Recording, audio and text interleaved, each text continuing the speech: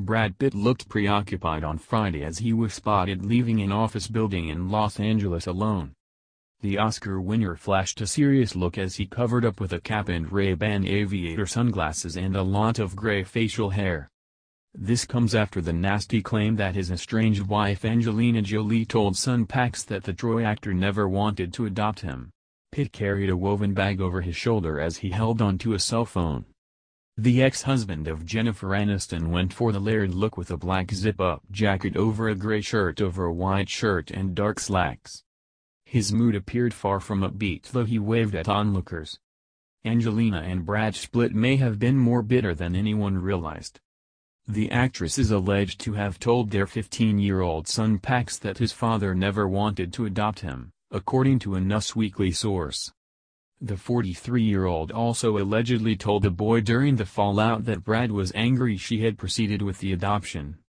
It's harmed his and Brad's relationship, though Brad denied having said that specifically, the insider claimed. The source claimed that Brad was instead concerned about adopting a three-year-old who didn't speak English less than a year after they welcomed Shiloh, in what was a very difficult time for the couple. Angelina allegedly told him at the time, Pax needs me more than Shiloh. They almost ended the relationship, but Brad stayed, the source added.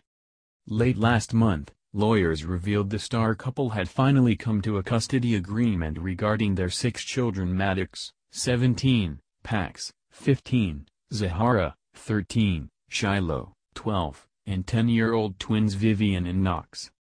Angelina reportedly wanted full custody, but settled to share physical and legal custody to avoid dragging the kids into a trial. While the matter has been settled for now, the split has taken its toll on Brad's relationship with each of his children, according to Us Weekly's insider. His relationship with eldest Maddox was already strained, but now the actor has accepted that he'll likely never be able to repair their relationship. He's always been headstrong and protective of his mother, the source said, adding Maddox was his mom's closest confidant during their fallout. Shiloh has seemed the most eager and willing, of the four eldest, to work on things with Brad, the insider claimed. Zahara now has an improved relationship with her dad, they added. Twins Knox and Vivian meanwhile have been sheltered from a lot of the issues, the source said. According to Us Weekly, both actors' parenting skills came under fire following assessments from social workers. The source said that while Brad made huge strides addressing his anger and psychological issues, one social worker felt he had trouble accepting personal responsibility and often blames others for his actions. Angelina meanwhile was allegedly chastised for indulging the kids all the time and creating an unstable living environment. One caseworker reportedly believed she was was currying favor with kids, and that it hurt Brad's relationship with his kids, but the worker didn't think Angie was trying to actively sabotage the relationship.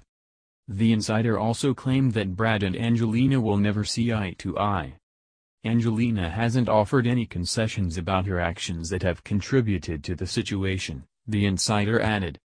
Angelina has a lot of emotional baggage from her own unstable childhood, the source concluded, describing her as extremely complex.